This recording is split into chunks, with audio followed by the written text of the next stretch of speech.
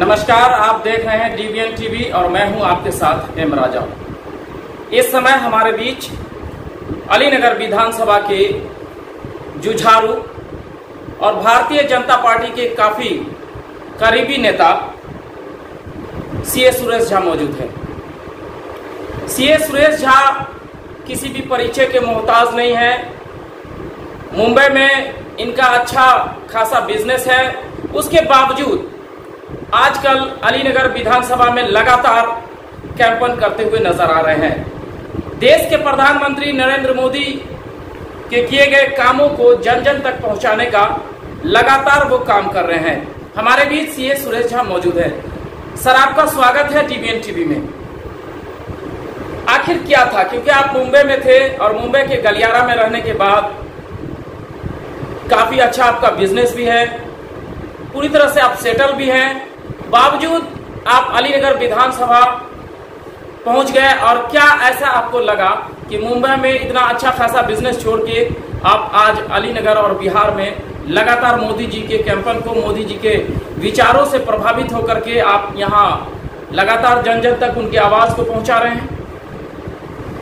नमस्कार TVN news के सभी दर्शकों को, खासकर एम राजा जी और आपके टीम को।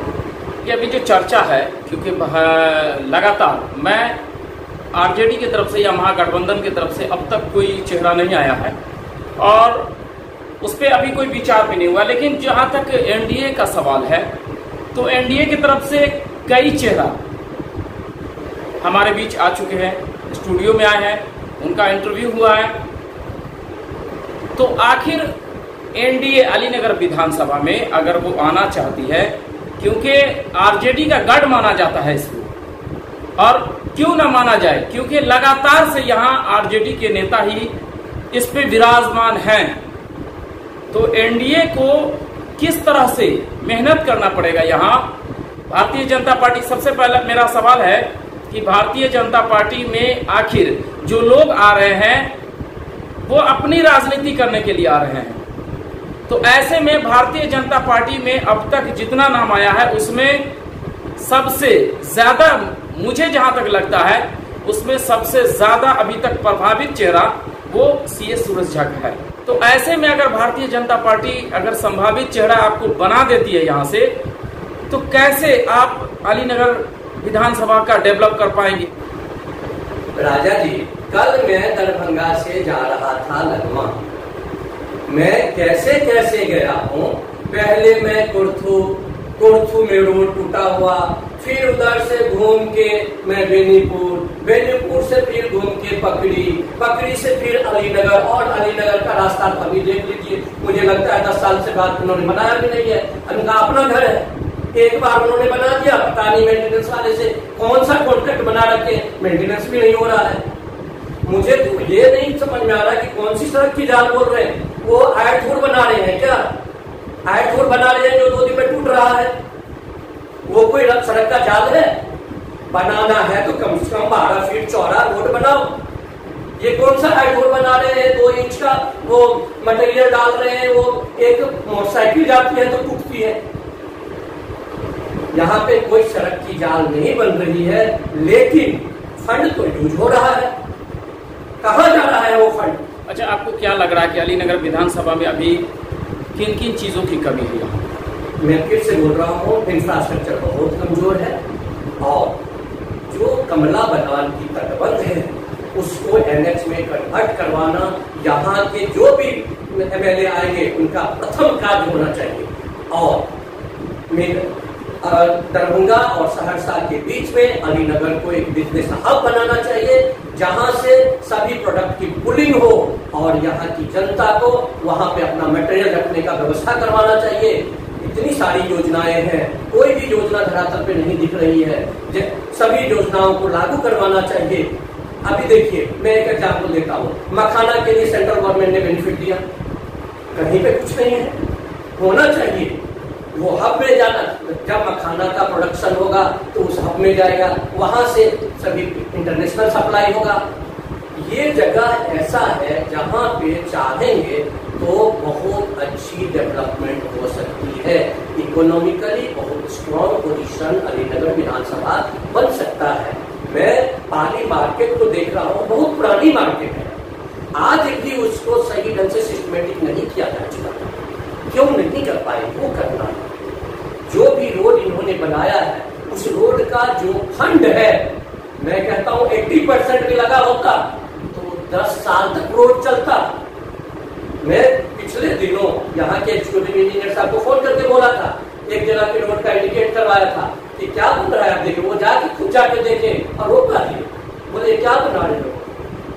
अब बताइए, कहीं पे यदि आपको आठ इंच का ढलाई करना है, आप तीन इंच का ढलाई करोगे तो आप बताओ, आप क्या सोच रहे हो? वो क्या रहा है यदि कहीं पे ढलाई करने के लिए नीचे से प्लास्टिक दे करके ढलाई को मजबूती का सिस्टम होता है आप प्लास्टिक यूज़ नहीं कर रहे हो तो आप करना क्या चाहते हो? ये सब चीज़ें दिखाती है जो क्या करने की मानसिकता है। विकास अलीनगर अलीनगर विधानसभा में सबसे बड़ा एक और मुद्दा है वो है बाढ़। क्योंकि अलीनगर विधानसभा में घनश्यामपुर प्रखंड है और उसी का हिस्सा है बौर बौर किसी परिचय का मोहताज नहीं है। लेकिन आज की जो स्थिति है वहाँ की वो मानो लगता है कि आज़ादी से पहले वाली है। उसके लिए क्या निदान है सरकार के पास? या फिर स्थानीय जो यहाँ के एमएलए आएँगे उनके लिए या फिर आप अगर भारतीय जनता पार्टी की तरफ़ से संभावित चेहरा होंगे तो क्या निदान होगा आपकी तरफ़ से? और मैं मैं आज जो फेसबुक का बात किया था आपसे कि मेरे फेसबुक पे आया है, मेरे पुराने एक साल वाले दिन का तो बॉर्ड का ही था वो मैं जब बाहर में पिछले साल बॉर्ड हुई हुई थी तो सब जगह तो राहत मिल रहा था बॉर्ड में नहीं मिल रहा था। मैं बॉर्ड खुद से नौ पे बैठ के सामान लेके गया था वहाँ के लोगों को जहाँ तक हो सका था, कोशिश किया था मैं अपना प्रयास दूसरा बॉर्ड की जो समस्या है वो समस्या सरकार को सरकार ने बनाया भी है लेकिन उस समस्या का समाधान हो नहीं पा रहा है जैसे ही तटबंध एनएच में कन्वर्ट होगा तो बॉर्ड को सबसे पुनर्वास के लिए जगह देना चाहिए और बॉर्ड के लोगों को यदि उनको सेंटिमेंटल भावुकता बस वहाँ से नहीं आ पा रहे हैं तो वो सेकेंड होम की तरह उसको यूज़ करेंगे। फ़र्स्ट होम वो तटबंध के बाहर वाला जो रिहेबिलिटेशन पुनर्वास का जो जगह दिया जाएगा। वहाँ पे वो अपना घर बनाएँगे। और वहाँ पे बाढ़ के समय में वो नहीं रहेंगे। इसका यही एक समाधान दिख रहा है। लेकिन, आज जो आप बोल रहे हैं, वहाँ के लोग सब कुछ न कुछ, लोग आके बाहर तटबंध पे रहते हैं। बाढ़ समय जिनकी जिनकी पक्का मकान है, वो पक्का मकान के ऊपर जाके सरकार के दिया हुआ टेंट अदरवाइज़ वो अपना टेंट पहले से व्यवस्था करके रहते हैं, उसमें रहते हैं। लेकिन उसका समाधान होना चाहिए। जो समाधान मैं इस प्रकार से बोल रहा हूँ कि उनका सेकेंड होम की तरह यूज़ होना है, जो पुनर्वास के लिए जगह दिया जाएगा, जो बाहर के समय में वो यूज़ करेंगे, और चूँकि सेंटिमेंटल है तो वहाँ जुटे यही एक वहाँ की समाधान मुझे दिख रहा है। आप जिस तरह से स्थानीय प्रतिनिधि को घेर रहे हैं मुझे लगता है ठीक नहीं क्योंकि पंद्रह साल पहले क्या विकास को देखिए ना पंद्रह साल पहले क्या था विकास यहाँ? मैं आपको राजा जी बोल रहा हूँ कि 20 परसेंट विकास हुआ है। मैं ये नहीं बोल रहा हूँ कि ज़ीरो हो गया। पहले तो भैंस के छाप थे। अभी कम से कम थोड़ा सा चप्पल पहन के ऐसे कूद के तो लोग निकल जा रहा है। 20 परसेंट विकास हुआ था, हुआ है हंड्रेड परसेंट की जगह। मैं वो बात कर रहा हूँ आपको। हंड्रेड परसेंट विकास होना चाहिए था। 20 परसेंट हुआ है। आय थोड़ बना है, रोड नहीं बना है। वो रोड मात्र पैसा निकाल के मिसयूज हो गया है। वो चीज़ है यहाँ पे। विकास हुआ है। अब पैंसठ वाली भारत तो है नहीं आज। पैंसठ वाली भारत तो है नहीं सैतालीस वाली भारत तो है नहीं, कुछ तो हुआ है। लेकिन आज यदि आप सैतालीस से अभी तक देखेंगे तो उसके कंपेरिजन में तो एक परसेंट भी विकास नहीं हुआ है। मैं कहता हूँ कि यदि योजना बनती है, सौ करोड़ की तो अस्सी करोड़ का कम से कम विकास दिखना चाहिए। मेरा वो विकास से कहने का मतलब है, जो सरकारी योजना योजनाएँ सेंट्रल और स्टेट की है वो आपकी धरातल पे दिखनी चाहिए। आज बोर्ड लगी रहती है कुछ नहीं रहता वहाँ पे। मैं एक पिक्चर देखा था वेल्टन अप्पा आप भी देखिएगा। मैं जनता से भी बोलूँगा वेल्टन अप्पा देखिएगा। उसमें बावरी आप- जाती है। आपने वेल्डन अप्पा का प्रचार भी कर दिया। मैं बोल मैं मुझे अच्छा लगा। और उस पिक्चर को इतना ज़ोर शोर से नहीं दिखाया गया मुझे बहुत खराब लगा।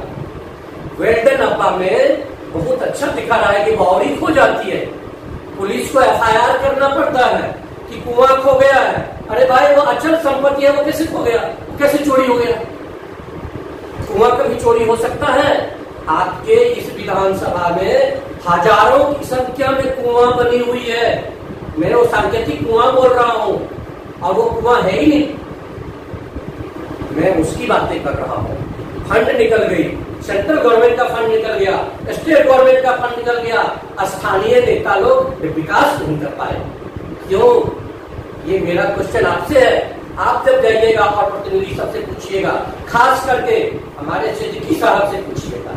मैं यहाँ पे कोट करता हूँ कि वो कुआँ सब कहाँ है? मैं, आप मुझे बार बार बोलते हैं, बात बीजेपी की सरकार है। अरे मैं अलीनगर की बातें कर रहा हूँ आपसे। कि सिद्दीकी साहब? जो इतने शौचालय बने, आप नंबर निकालिएगा थाना सबसे, ब्लॉक सबसे, कितनी शौचालय बनी है? और जाके आप खुद ही वेरिफिकेशन कीजिएगा, कितना शौचालय आपको दिखता है। मोदी जी की जो इच्छा है, उसको कम से कम लागू करवाओ। एकदम डेवलप हो जाएगा इंडिया बस इतना ही मेरा कहना है, यहाँ के जनप्रतिनिधि से। कोई ज़रूरी नहीं है कि मैं ही आऊँगा। लेकिन जो भी आएगा, मैं उससे कहूँगा कि यहाँ की जनता के लिए प्रतिनिधि वही बनेगा जो जनता की मन की बातों को समझेगा और मोदी जी की तरह उसके उसकी मन की बात, जनता की मन की बात को समझ के अपनी मन की बातें बोलेगा, वही यहाँ पे विकास कर पाएगा। चलिए बहुत बहुत धन्यवाद। तो ये थे हमारे बीच सीए सुरेश झा, जो अलीनगर विधानसभा से भारतीय जनता पार्टी से संभावित चेहरा है इस बार भारतीय जनता पार्टी की तरफ़ से। कई चेहरे हैं, लेकिन चेहरे पे चेहरा है और उस चेहरे में सबसे नंबर एक पे है सीए सुरेश झा। ये थे हमारे बीच, अभी स्टूडियो में। नमस्कार। धन्यवाद राजा जी, आप और आप